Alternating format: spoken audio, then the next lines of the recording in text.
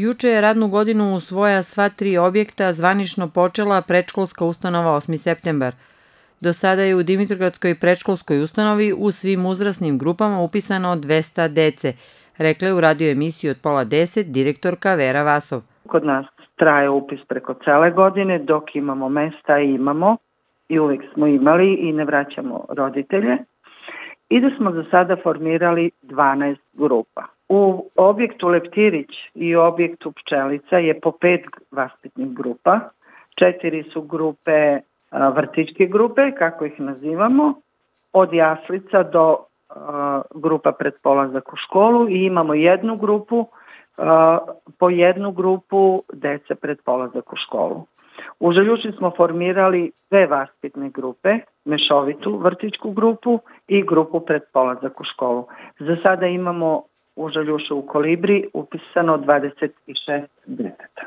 Kompletno rekonstruisan i obnovljen objekat Kolibri u selu Željuša takođe je otvorio vrata mališanima na početku nove radne godine, a za koji mesec se očekuje i realizacija projekta za kompletno opremanje objekta nameštajem.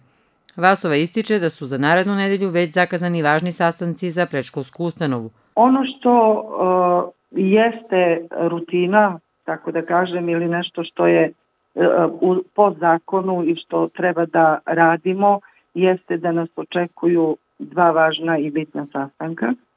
Radi se o tome da Savet roditelja izabrani su na prvim roditeljskim sastavnici predstavnici Saveta roditelja. Mi smo već taj sastanak postavili datum, bit će to 10.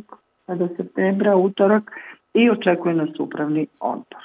Na upravnom odboru znamo da mora da prođu izveštaj predškolske ustanove, izveštaj direktora, kao i godišnji planovi mora da se daje saglasnost i bit će još nekih tačaka koje su bitne za ovaj period. U novoj radnoj godini formirane su tri pripremne vaspitne grupe koje broje ukupno 51 budućeg prvaka. Pored vrtića u Željuši, gde će pripremni predškolski program pohađati osmoro dece i jednog mališana u selu Trnski Odorovci, 17 dece pohađaće pripremni program u objektu Pčelica i 25 u objektu Leptirić. Ono što sigurno najviše interesuje roditelje i decu, a i svakako vaspitače za realizaciju vaspitno-obrazovnog rada jeste da ženska odmor, odbornička mreža i ove godine za decu pripremnog programa pripremila je neophodan pribor koji će im biti uručen koliko sam obaveštena možda i do sredine septembra, ali svakako u septembru sigurno. Zahvaljujući lokalnoj samupravi godinama unazad Dimitrogradska predškolska ustanova ima najnižu cenu boravka u okrugu, dodala je Vasova. Deca na pripremnom predškolskom programu, koje četvoročasovni program pohađaju, ona ne plaćaju. Mi ta sredstva dobijemo iz ministarstva za tu decu zato što je ono obavezno i ona ne plaćaju. Deca koje su na boravku, mi smo do sada imali cenu od 3600 dinara, mislim da je bila, kada je u izradi nova ekonomska cena i mislim da ćemo idemo uh, za, uh, za 7,6 procenta gore. To je inflacija koju smo imali, tako nam je rečeno od strane lokalne samouprave, tako da će cena biti povećana samo za 7,6 procenta.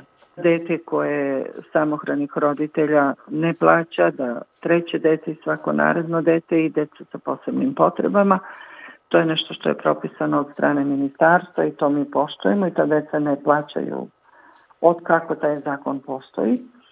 Ali imamo još jednu kategoriju, to je lokalna samouprava, donela tu odluku i ona traje već nekoliko godina da i svi korisnici socijalne pomoći takođe njih ne plaćaju za decu u boravak. Prema rečima Vasove, do kraja oktobra očekuje se i treća donacija Ministarstva prosvete koja se daje svim predškolskim ustanovama u Srbiji u vidu nameštaja, didaktike i mobilijara.